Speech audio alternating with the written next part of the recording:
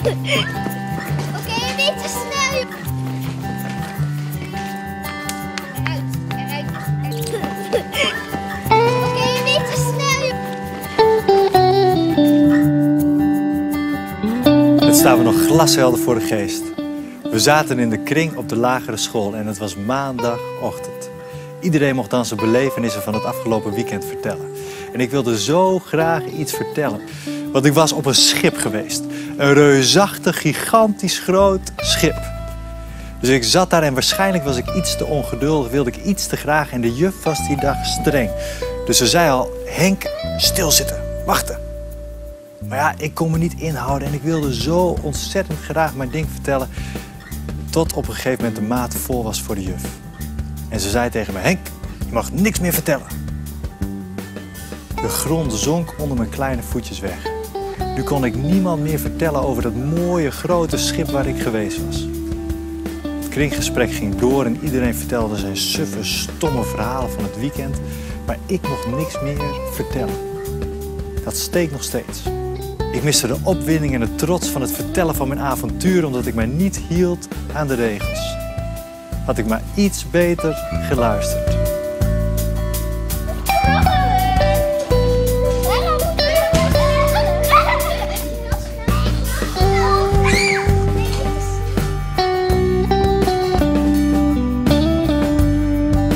Wat doen kinderen in de speeltuin?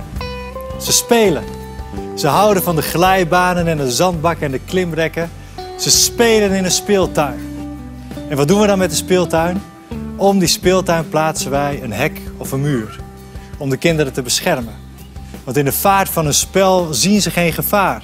Als een bal de straat op rolt, vliegen ze er zo achteraan.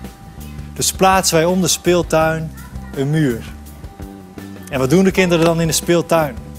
Zijn ze steeds bezig om hun speeltoestellen kapot te maken... of elkaar zandkastelen kapot te trappen of elkaar steeds te pesten? Hangen ze maar een beetje tegen de muur? Ze denken helemaal niet aan die muur, ze zijn bezig om te spelen. Deze hele wereld is als het ware één grote speeltuin. Waar God alles heeft gemaakt. God heeft de liefde gemaakt en de man en de vrouw... en het wakker worden met een grijns en het stampen in de regen. En het dansen en het zingen en het springen. Deze hele wereld is als het ware één grote sprookjesplaats. Waar de dingen te wonderlijk zijn om niet waar te kunnen zijn. Arenden die gracieus zweven door de lucht. Lammetjes die raar huppelen door de wei. Licht dat sprookjesachtig danst over het water. Een oude man die zijn nog oudere auto zorgvuldig in de was zet. En als olifanten alleen in Artis een lange slurf hebben, is dat gewoon een rariteit. Maar als olifanten over de hele wereld een lange slurf hebben, dan is dat een samenzwering. Het licht, de liefde, het leven. Het is allemaal even groot en bijzonder. Er zijn talloze boeken te lezen, dansen te dansen, avonturen te beleven, nieuwe dingen te maken. De wereld is een grote speeltuin. En om je te beschermen heeft God een muur om de speeltuin geplaatst. Zijn morele wil. Zijn wetten, zo je wilt. Maar zijn wetten zijn niet gewoon willekeurige regels, zoals bijvoorbeeld de spelregels van Monopoly. Regels ook om je te pesten. Zoals ga direct naar de gevangenis, je mag niet langs stad, je ontvangt geen 20.000 euro. Stomme regels. Het leuke van regels is dat je ze kunt overtreden. Als er niemand oplet, kun je toch doen wat eigenlijk niet mag. Maar Gods wetten zijn geen willekeurige regels. Zijn geen wetten om je te pesten. Gods wetten beschrijven hoe het leven werkt. Heb God lief. Want Hij heeft jou eerst lief gehad. Heb je naaste lief als jezelf. Want het houden van jezelf en van je naaste is randvoorwaardelijk voor leven in de ware betekenis van het woord. Je mag niet doodmaken. Want het leven heeft intrinsieke waarde. En in het nemen van een leven beroof je niet alleen de ander, maar ook jezelf van leven. Je moet niet scheiden. Want twee blokken hout die vast aan elkaar gelijmd zijn en dan gescheiden worden, raken beide blijvend beschadigd. Gods wetten zijn er niet om te pesten. zijn geen willekeurige wetten. Ze zijn als de muur om de speeltuin die er is om jou te beschermen. En toch staren wij ons dan vaak helemaal blind op die muur. Zijn we helemaal gefocust op die muur.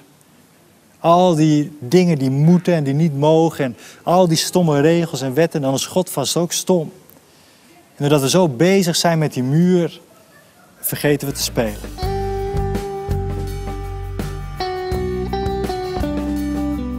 Toen God Adam en Eva in de hof van Eden plaatste, zei hij: Jullie mogen eten van alle bomen in de hof, behalve van die ene boom van kennis van goed en kwaad. Adam en Eva richtten hun aandacht op al die bomen waar ze van mochten eten.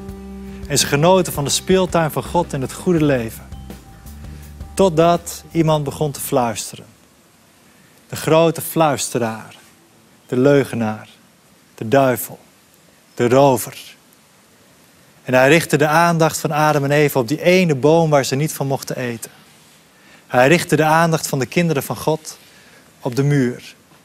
En hij trok de goedheid van God in twijfel. En voordat ze het wisten, waren Adam en Eva helemaal geobsedeerd door die ene boom waar ze niet van mochten eten. Waren ze helemaal bezig met de muur. En ze vergaten te spelen. Ze klommen over de muur. Dat was niet veilig. Ze raakten gewond. Ze stierven. De muur om de speeltuin geeft niet alleen bescherming, maar biedt ook vrijheid. Je mag kiezen waar je het liefst mee wil spelen. God die zegt niet tegen jou, jij moet de hele tijd schommelen als je liever op de wipwap wilt. En als je snel misselijk wordt, plaatst hij je niet op de draaimolen. De muur biedt niet alleen bescherming, maar ook vrijheid. Van oudsher leeft het Joodse volk achter de muur van de wetten van God. Maar daar, achter die muur, er wordt gedanst en gezongen. Er wordt gefeest en gesprongen. Er wordt genoten van het goede leven met God. Voel je de behoefte tot overspel? Voelt je huwelijk meer als een gevangenis dan als een speeltuin? Waarom zou je een ander begeren? Als het liefhebben en begeren van één persoon al zo overweldigend is dat het meer dan voldoende is voor één leven. Voel je de behoefte tot meer, tot verder? Je bedankt God voor heerlijk zoete peren door er niet te veel van te eten. Je bedankt God voor seks door ervan te genieten in de bescherming van de belofte van levenslange trouw. Je bedankt God voor werk door er niet te veel uren in te steken. Toen zat ik daar als klein jongetje in die kring. En ik wilde zo graag mijn verhaal vertellen. Maar ik hield me niet aan de regels van de juf en ik klom over die muur en ik mocht mijn hele verhaal niet meer vertellen. Het had ook anders kunnen